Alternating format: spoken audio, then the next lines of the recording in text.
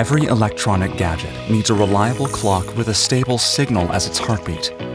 For almost a century, Quartz's piezoelectric properties have kept clock circuits ticking. And Epson, the world's largest supplier of timing devices, manufactures quartz crystals, oscillators, and real-time clocks for various industries, such as automotive, networking, consumer solutions, and industrial and IoT.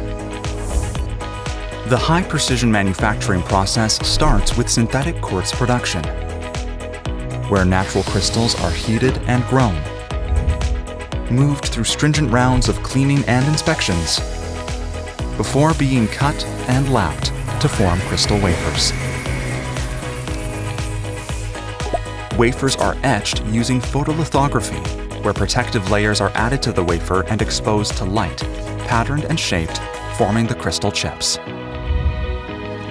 During assembly, the crystal chips are cleaned before two metal electrodes are sputtered to it. The crystal is mounted inside the ceramic package with special conductive glue, and the metal electrode is trimmed until the crystal's desired oscillation frequency is reached. A metal lid is applied and seam welded onto the package, which is sealed. The package is then tested before the final inspection, and its lid is laser marked. Approved parts move to the final visual inspection, performed with automated high-speed cameras. They are packaged and ready to be used with a printed circuit board for devices in any industry.